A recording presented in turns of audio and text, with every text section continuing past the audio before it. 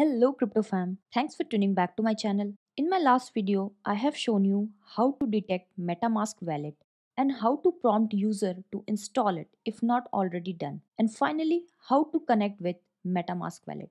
If you haven't watched that video already, please go and watch it first as I'll be using the same code snippet and I'll be adding more functions to that same code snippet. Now I'll leave the video link in the description so be sure to check it out. Now today we will learn how to detect user's current chain and how to switch user to another chain. We will also discuss how to add a new chain to MetaMask wallet. So let's get started. So from my last video, I'll be using the same set of files to start our server. We'll be using vanilla JavaScript this time as well and we'll be using web3.js library today. I will create a separate wallet.js file and inside it I will write the logic for detecting user chain and switching it to desired chain. We will directly start assuming MetaMask is already installed so that we can test it easily. So let's get started. Okay, first we will add a script to load web3 JS file. We'll be actually using web3.js library today. Now I'll be creating a new file wallet.js today and I'll actually update it in index.html file.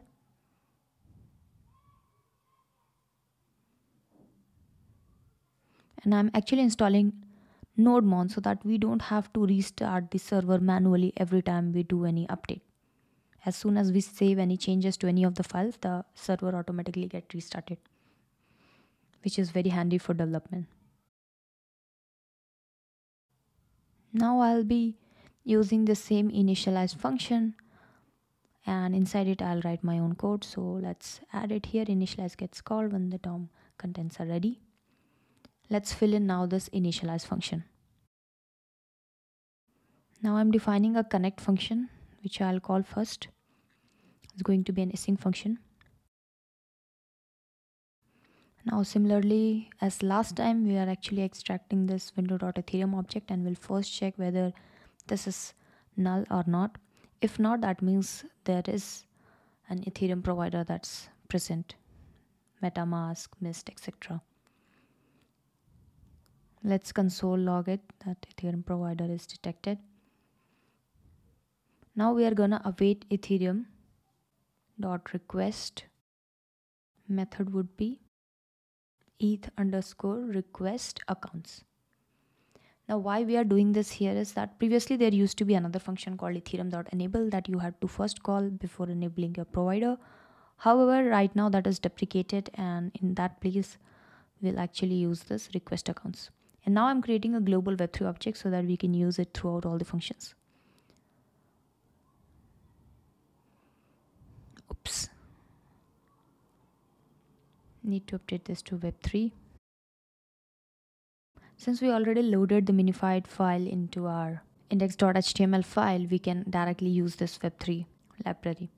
Now let's await switch network and now I'll be writing code for this switch network next. Now let's define this function switch network. It's also going to be an async function. First, we'll need the current chain ID to ascertain whether do we really need to switch the network or the user is already on our desired chain. So for that, we can actually call web3.eth.get chain ID function. I'll actually show you all these functions on web3 documentation page in just a bit. So the current chain ID, let's log it. Okay, and then uh, okay we can return this chain but yeah okay i can create a new function actually altogether where i say get chain id get current chain id and i can actually put all this code over there. Now here i can actually take current chain id await switch network. I'm sorry web3.eth.get chain id okay. Now we can log this current chain id okay good.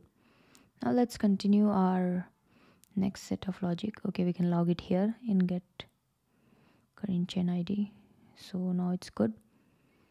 Now let me proceed with the other part of the code which is to actually switch network. I'm just adding try and catch folder here.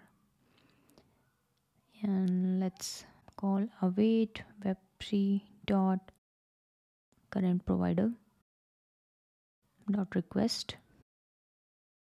Method would be wallet underscore switch ethereum chain id i mean switch ethereum chain. I'll just show you in a bit on metamask docs what's the method name that we need to use. Okay it's here in rpc apis if you see there is a switch ethereum chain. The method name is wallet underscore switch ethereum chain. Let's see if we have any examples for this. Let me scroll up and check it. Yes we do have an example. I'm gonna copy it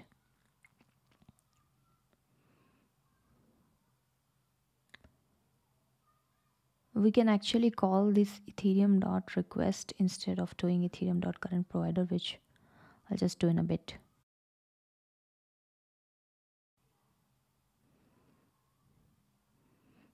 Okay as you can see this is the minified version of web3 library that i was importing. And let's get back to our code and let me update the params to chain id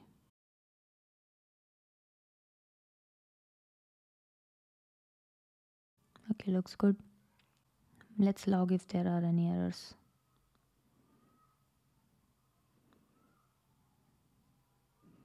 error occurred while switching to chain ID. Let's log the chain ID and the error. Okay, perfect. Let's log it here as well if it's successful. Let's just say chain switch successfully or something like that. Okay. yeah let me increase the font a little bit. And yeah collapse it. Yeah it's much better now. Now we can call this connect function. Let me do a little bit of cleanup okay now one more thing that we want to check is if the current chain id is not equal to the chain id that we desire we should actually then only we should actually make a switch ethereum chain call and not otherwise. So let's add everything inside the first if condition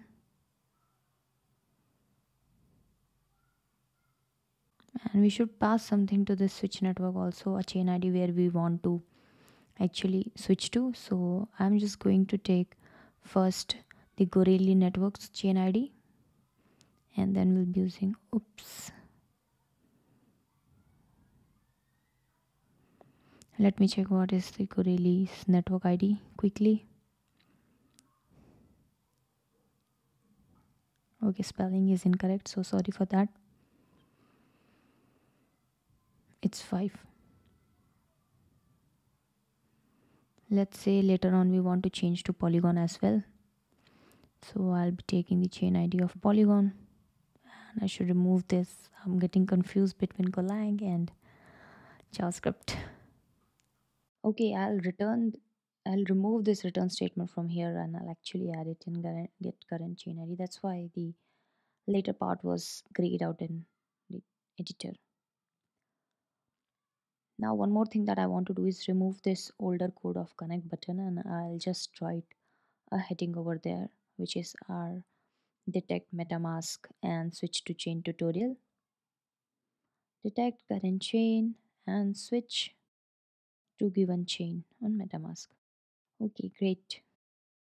Now i'll be starting it with nodemon.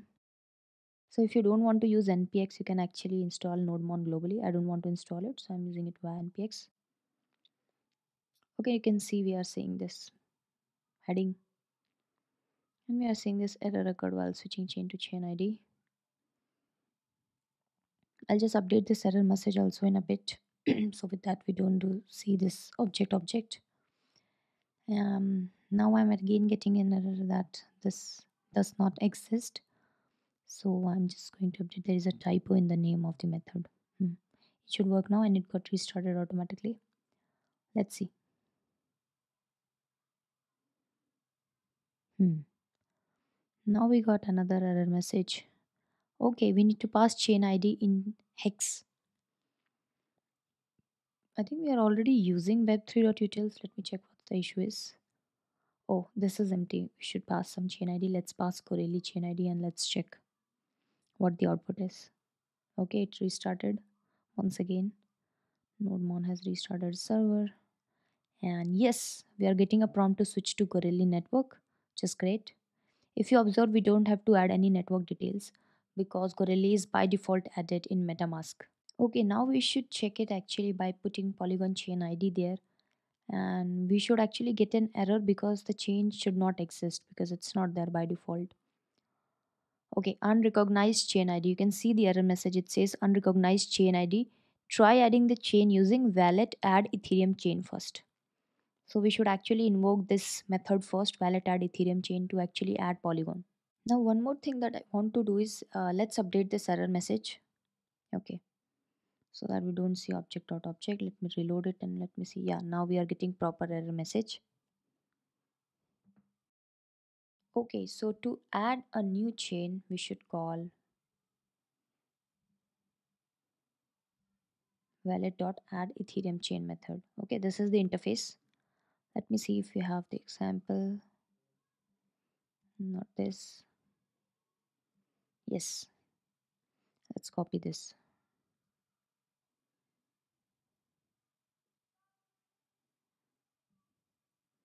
We should actually add Polygon's network details somewhere here. Let me okay let me first write add network function itself then we'll write down about the network details. So this is going to be an async function again.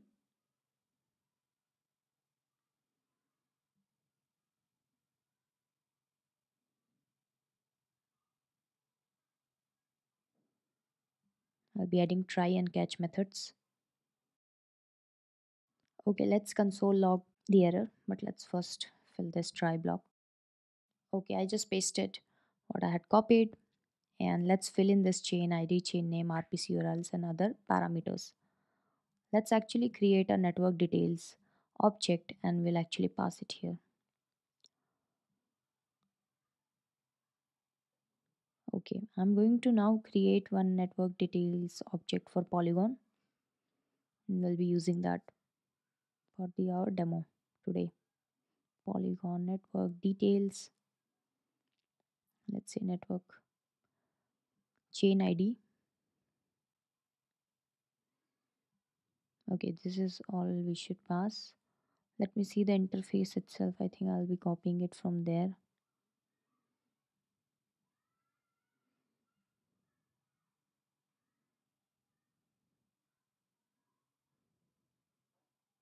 Okay. Now let's fill this in. I'm going to open metamask docs to help us with all these details. And as you all know we'll actually need this web.utils.2 hex to actually convert this chain id into a hex string. We'll take polygon chain id we'll add it here.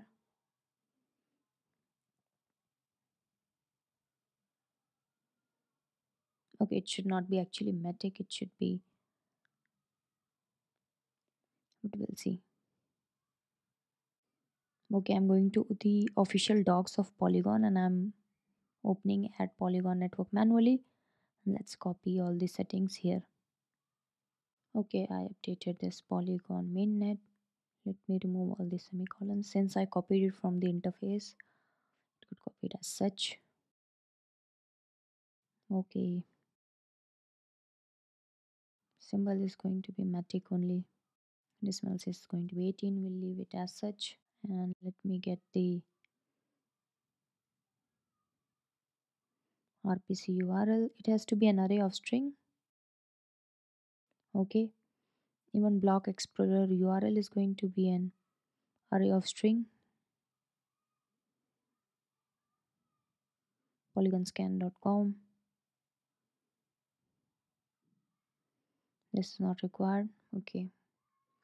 Great now we'll call this add network. Let's fill this error details also. Error occurred while adding network. Let's say new chain with chain id dot chain id let's print the error. Error dot message.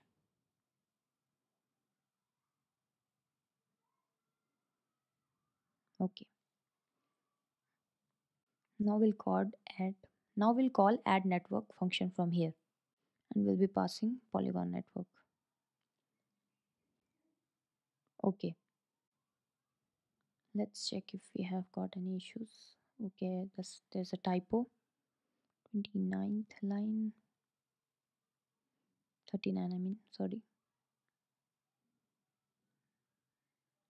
Okay now we got the prompt to add polygon network you can see all the details are available and we'll approve it.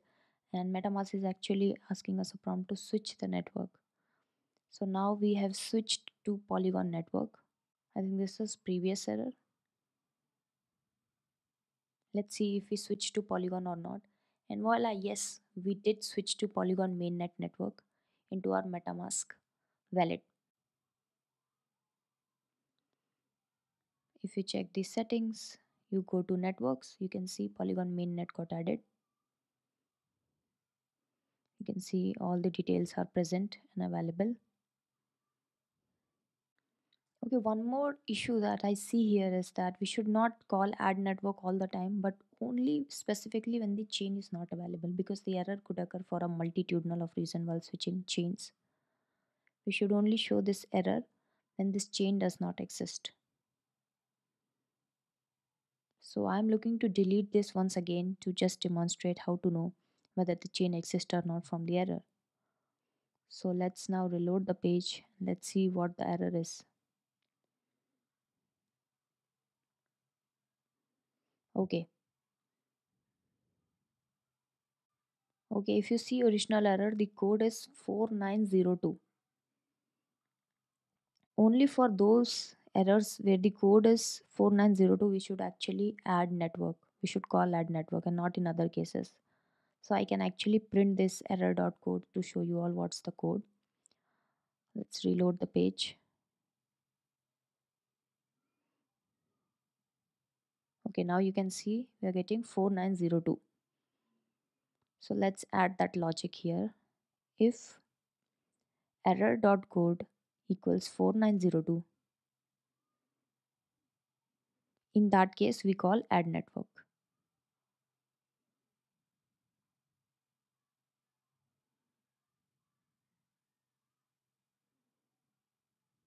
okay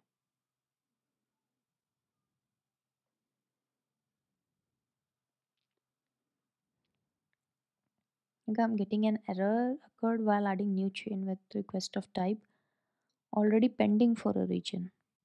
Okay, I need to cancel this. Already open pop-up, yeah. Now we should get a prompt to add approve, switch network. And voila, we have switched to Polygon mainnet. So that was it for this video folks. We saw how to detect the current chain of the user and how to switch the chain so that is it for this video i hope you all like this video if you did please give a like to this video subscribe to my channel and i'll catch you in the next video bye bye